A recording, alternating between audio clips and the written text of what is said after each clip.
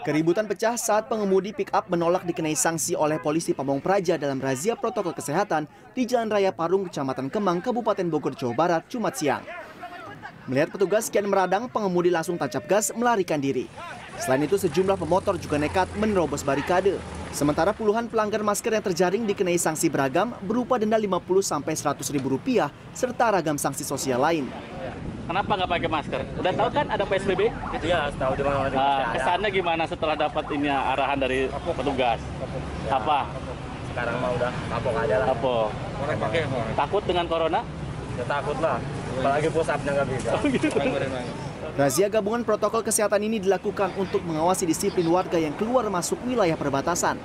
Razia dilakukan serentak di tujuh titik perbatasan kota dan kabupaten. ya yang pakai kendaraan maupun yang tidak kita eh, laksanakan kegiatan operasi dan sanksinya tentunya sesuai dengan eh, masing-masing perbub ya antara perbub kota eh perbub kabupaten dengan perwali eh, kota Bogor yang jelas Dalam razia gabungan ini, sanksi yang diterapkan petugas disesuaikan dengan masing-masing peraturan gubernur dan peraturan wali kota. Warga diminta untuk lebih sadar bahaya corona lantaran kondisi zona merah di ibu kota dan wilayah penyangga makin mengkhawatirkan. Muhammad Juanda, Bogor, Jawa Barat.